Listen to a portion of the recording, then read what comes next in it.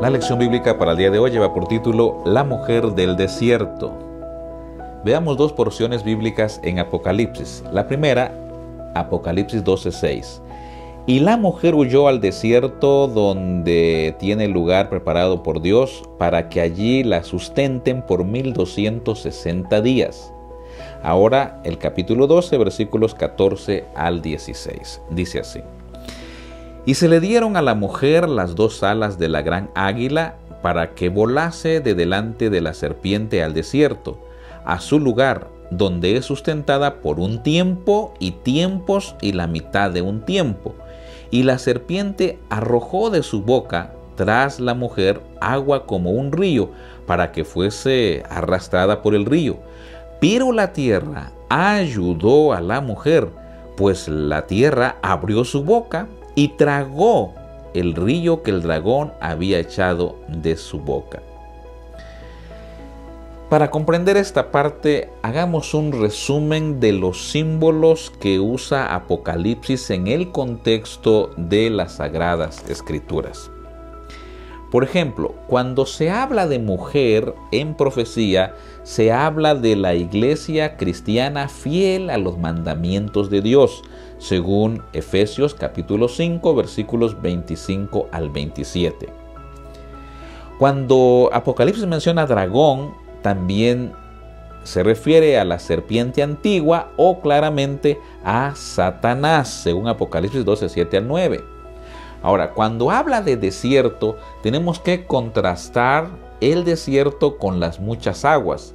En Apocalipsis 17:15 dice que las muchas aguas simbolizan pueblos, muchedumbres, naciones y lenguas.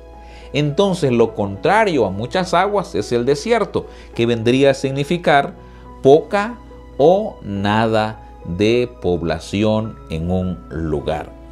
Ahora, aparece una cantidad, 1260 días. Esta cantidad de tiempo se muestra de tres maneras.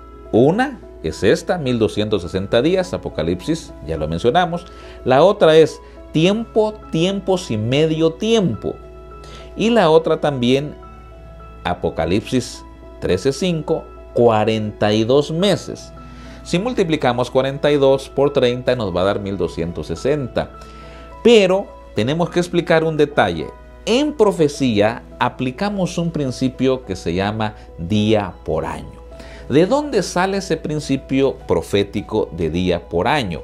Bueno, viene de estas partes de la Biblia. Números capítulo 14 y versículo 34.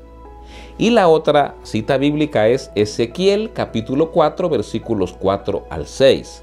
Allí en resumen dice Dios, día por año te lo he dado, hablando proféticamente. Entonces se aplica este principio para esta parte. Lo que está diciendo acá es que la iglesia de Cristo Jesús, me refiero a los fieles, apegados a la palabra de Dios y obedientes a los mandamientos de Dios, fueron perseguidos por la falsa iglesia de una manera intensa, agresiva, grosera, despiadada, inhumana, todos los adjetivos que usted pueda colocarles allí, por 1260 años.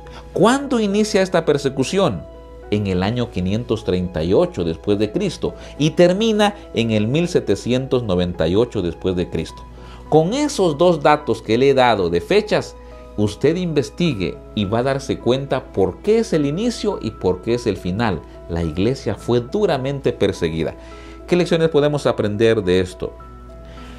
Tres lecciones. La primera, en medio de la persecución que sufrió la iglesia verdadera de Dios, Dios cuidó de cada uno de sus hijos. Dios cuidará de ti y cuidará de mí.